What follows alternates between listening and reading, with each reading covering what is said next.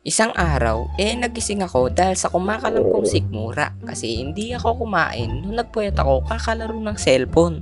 Kasi wala magsasaway sa akin kasi tulog na silang lahat. Nyahahaha. Walang mag-uutos sa akin kasi natulog na sila mama. Ang unang pumasok agad sa isipan ko nung nagising ako eh yung gagamba na binigay sa akin ni Janjan na mukha namang mahina kaya binigay niya sa akin. At alam niyo naman kung saan ko linagay yun, sa posporo. Pero, meron akong naisip.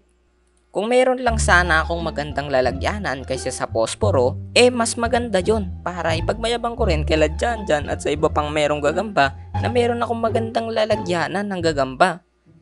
At ngayon, ikakwento ko sa inyo kung paano naglaban ang mantis ni Raprap at ang Huntsman Spider na nahuli ni Janjan sa baradong CR nila na sobrang baho. Nung nakita ko agad yung lalagyanan ni ate ng lumbans, isa lang ang pumasok sa isip ko. Pwede to lalagyanan ng gagamba. Papakita ko to kay Janjan na maganda ang lalagyanan ko tapos sa kanila, ang pangit. Inalis ko agad yung mga lumbans at itinapon lang doon sa sahig kasi nagmamadali na akong lumabas dahil baka magising na si mama at si ate at utusan na naman ako buong araw sa gawaing bahay at hindi na ako makakalabas at hindi na ako makakapaglaro. Nung nakapunta na ako sa palaruan, eh nakita ko si Janjan na naglalaro sa siso nang mag-isa. Tapos, hinaya niya ako. Marky, tara, laro tayo dito sa siso. Doon ka sa kabila. Sige ba? Eh, paano kaya kami magsisiso? Eh, ang taba-taba niya. Tapos ako payatot. Ano yun? Ititatalsik ako? Naglaro kami dalawa ni Janjan sa siso at hirap na hirap ako kay Janjan kasi ang bigat niya. Tuwang-tawa si Janjan sa siso tapos ako pagod na pagod kasi ang bigat niya. Parang tatalsik na nga ako pagpababa na siya eh. Doon rin namin pinag-usapan ni Janjan ang tungkol sa kakilala niya na si Rap Rap at sobrang lakas ng gagamba niya. Halos matalo agad yung kalaban or may na lang talaga yung mga kinakalaban niyang gagamba. We, malakas ba yung rap-rap na yan? Baka mahina naman yan. Baka mahina ang gagamba niya. Baka nakachamba lang. Hindi, tinan mo, puntahan natin Marky. Sige ba, tara. Puntahan natin. Papunta sana kami sa bahay ni Rap Rap nung makita naming dalawa yung napakaganda na, ay, hindi yan, babae yan eh.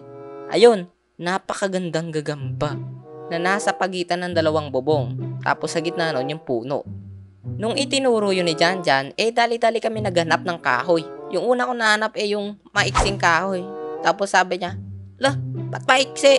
Paano natin maabot yan? Dapat yung mahaba. Ay, kukuha ako ng mahaba. Wait lang. Nung nakakuha na ako ng mahabang kahoy, eh dali-dali naming sinungkit yung gagamba na yun. Marky, eto. Dali, yan, dito, sa gilid. Yan, itulak mo pa sa gilid. Ang bigat naman nento. Hindi ko na kaya. Di, kayanin mo. Eh na, malapit na natin makuha. Sayang yan. Sa'yo na lang yan pag nauli natin. Ay, ganun ba? Dali, eto. Ya. Linagay na namin yung gagamba na kakaiba yung kulay. Medyo kulay dilaw na parang mangga. Pero hindi mangga yun, mais. Gagambang mais. Nagtalo pa kami ni Janjan kung mais yun o hindi. Pero sabi ni Janjan, sa'yo na lang yan, Malky. Mukha namang mahina yan eh. Parang di naman yan mais, parang mukhang mangga. Sabi kasi ni Janjan, pag yung gagamba nanggaling sa puno na mangga, gagambang mangga na yun. Pag sa bahay, gagambang bahay. Eh bakit tinawag na gagambang tigre yung gagambang tigre kung hindi naman siya nanggaling sa tigre? Hindi ko alam. Nung pumunta kami kay Rap Rap, eh nakita namin siya sa bahay ni Madam na nakatambay at nanghuhuli ng langaw. Yeah. Ang galing mong umilag na langaw ka. Yeah. Oh, huli ka. Rap Rap, laban daw kayo ni Marky, kaibigan ko. Eto, lalaban. Pandak, ba't ang late mo? Hindi. Hindi naman ako pandak eh. Malaki ka lang. Pinakilala ko ni Janjan kay Rap Rap na parang kapre na sa laki at amoy araw at star margarine na panis. Hindi, joke lang. Baho. Oo nga. Lalaban nyo ba yung gagamba nyo o mag-aamuyan tayo ng kilikili? Huh? Nye! Pinaglabanan namin ang mga gagamba namin. Pero natalo lang yung gagamba ko na dalawa. Tapos, ang naisip ko, eh ilaban ko na lang rin yung gagamba ko na bagong huli. Yung mais. Kaya nag-iisip kami tatlo kung sino ba talagang mananalo. Yung mais ba o tigre na gagamba. Nilaban ko na yung gagamba ko na mais. At pagkalagay pa lang sa stick, eh talaga namang ang bilis. Parang naikipaghabulan. Inatake niya agad yung gagamba ni Rap Rap na tigre. At naglambitin ang mga gagamba namin sa stick. Kinagat agad ng gagamba ko yung gagamba ni Rap Rap sa puwet. Kaya nakatisan. May lumabas na parang ewan na likido. Kaya titig na titig kami sa kilikili ni Rap Rap. Ay, kaya titig na titig kami sa laban ng dalawang gagamba namin. Dahil sobrang ganda na ng laban. Nabalutan na ng sapot yung akin pero unti lang. At yung kay Rap Rap, eh balot na balot na talaga. Gulat na gulat kaming lahat kasi natalo ng mais yung tigre na gagamba. Hindi, tsamba lang yan. Pitikin ko yan eh. Uy, wag. Gusto mo sa pakan kita? Kay Marky yan. Oh, ako nanalo. Ang galing. Talo yung sayo. Galing palang tigre yan ha. Talo agad. Eh, di nakapagpahinga eh. Nakadalawang laban eh. Tapos ilalaban sa mais. Ang liksi niya no. Parang gutom na gutom. Di mo ata pinakain yan eh. Hindi, bagong huli namin yan. Nanalo yung akin at natalo yung kay Rap Rap. Buti na lang natapos agad yung laban kasi nababahuan na daw si Jan Jan at hindi niya na daw kaya. Siyempre, pati ako rin, hindi ko na rin kaya. Kaya nung nakaalis na kami, eh, bumili kami ng ice candy para malabigan naman yung ulo namin. Kasi sobrang init. Yung bilian nga pala ng ice candy, eh malapit lang doon sa tindahan ng gagamba ni Kuya Taba. Kaya nakita namin na bumili si Buknoy. Hinamon rin namin si Buknoy na labanan yung gagamba ko na mais kung kung malakas talaga yung gagamba kong mais o nakachamba lang talaga. Oy, Buknoy, laban tayo. Ha? Anong laban? Gusto nyo suntukan? Ay, hindi, hindi, hindi. Hindi ayaw namin suntukan. Lal lalaban namin gagamba namin. Ah, kala ko suntukan eh. Sige ba, laban tayo gagamba. Tara, doon tayo sa bahay ko. Ang init eh. Sige, tara, punta tayo sa bahay mo. Sabi ni Jan Jan, eh mas okay pa daw kalaban si Buknoy kaysa kay Rap Rap na amoy daw margarin. Linibre kami ni Buknoy ng ice cream kasi nakipaglaro kami sa kanya. Sobrang bait talaga ni Buknoy. Ehehe, buraot tayo. De joke, siya naman talaga nag-usang magbigay ng ice cream.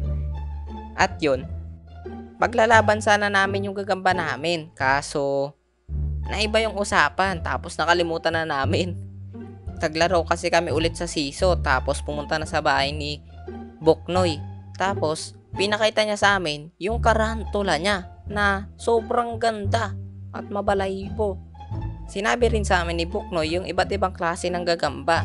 Yung mga gagamba na nalaban tapos yung mga gagamba na hindi. Tapos sabi ni Buknoy, maganda talaga pang laban ng mais. Pero, maganda rin yung tigre na gagamba. Pinakita pa sa amin ni Buknoy kung paano niya papakainin yung karatola niya. Tapos, pinakita niya yung lalagyanan ng ipis niya. Yung lumilipad-lipad lang sa bahay natin. Ayun, may lalagyanan siya ng ipis. Tapos, dinakot na lang yung isa. Tapos, tinapon doon sa karantola. Kami ni Jan Jan, eh nagulat nung ginawa yun ni Buknoy. Biglaan kasi. Tapos, sinabi niya pa yung pangalan ng gagamba niyang karantola. Alam niyo pa pangalan nun? Angel. Angel yung pangalan ng gagamba. Patawa na sana kami nun ni Jan Jan, pero biglang dumating si mama at pinapauwi ako. Maghapon kasi akong nasa labas tapos walang nauutusan sa bahay. Pantalas ako ng takbo nun papauwi ng bahay. Sa ibang daanan ako dumaan para lang hindi mapalo ni mama. Pero pag uwi ko, palo pa rin ang abot ko kay mama. Tapos nakita pa ni ate sa akin yung lalagyanan niya ng lumbans. Oh, bakit nasa iyo yan? Ano rin lagay mo dyan? Gagamba. Kaya pala nawawala lalagyanan ng lumbans ko. Nasa iyo pala ah. Oh, ba't wala dito yung lalagyanan ng posporo? Bakit nandito na yung mga palito? Linagyan ko ng gagamba. Ikaw puro ka gagamba. Akin ang ingangir. Nga! So hanggang dito na lang tong video na ito. At ang next na upload ko, eh hulaan nyo na lang. Yung nalipat paggabi tapos pandalas kayo ng kuha ng chinelas. Comment nyo sa baba kung ano yon. At huwag nyo na rin kalimutan mag-like, share, and subscribe. Yun lang. Maraming salamat sa panonood. Wait, wait, wait, wait. Bago kayo umalis, Ito nga pala ang shoutout. Maraming salamat nga pala sa suporta nyong lahat. Love you all. Bye-bye. Kita ulit tayo sa susunod kong upload. Ang baho.